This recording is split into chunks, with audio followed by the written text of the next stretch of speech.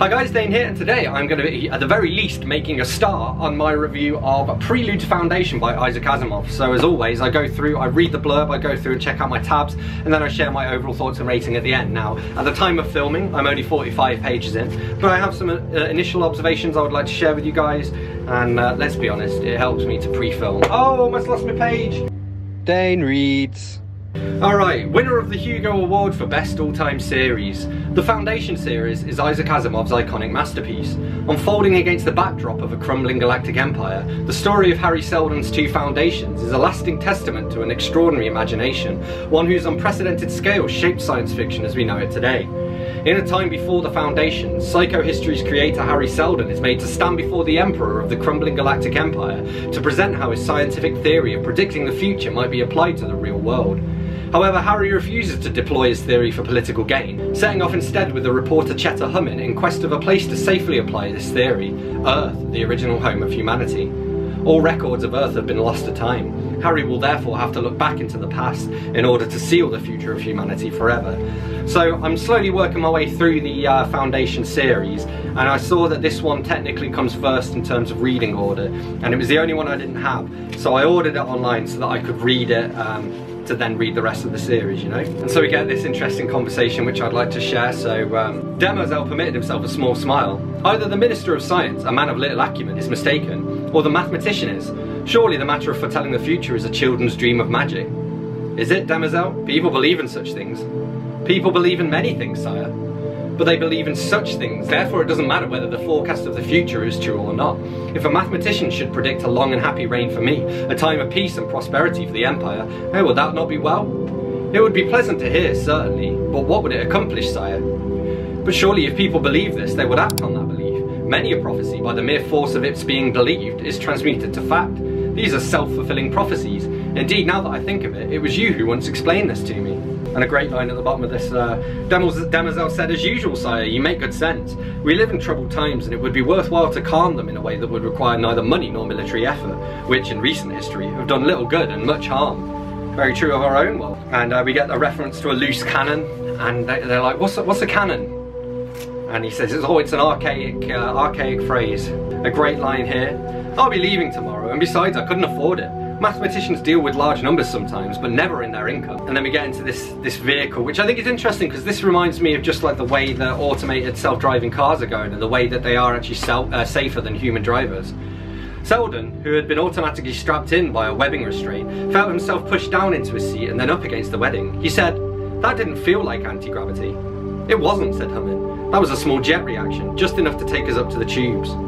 What appeared before them now looked like a cliff patterned with cave openings, like a draft board. Hummin manoeuvred towards the opening marked D7, avoiding other taxis that were heading for other tunnels. You could crash easily, said Seldon, clearing his throat. So I probably would if everything depended on my senses and reactions, but the taxi is computerized, and the computer can overrule me without trouble. The same is true for the other taxis. So I thought this was uh, very telling, this reflects our own world here. Um, so we go, where's the money gone? Into other things. We've had centuries of unrest. The Navy is much larger and many times more expensive than it once was. The armed forces are much better paid in order to keep them quiet. Unrest, revolts, minor blazes of civil war all take their toll. But it's quiet under Cleon. We've had 50 years of peace.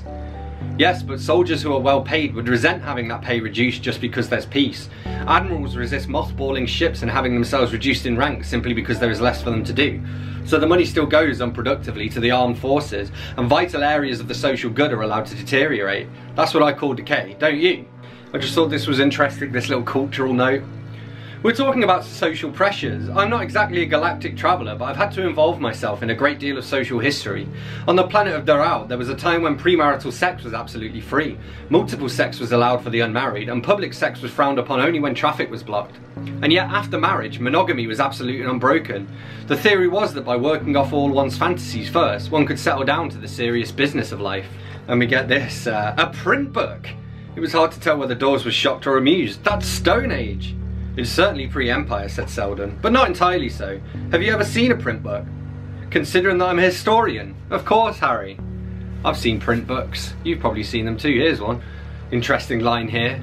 Uh, still, I think that all men are equal, even women.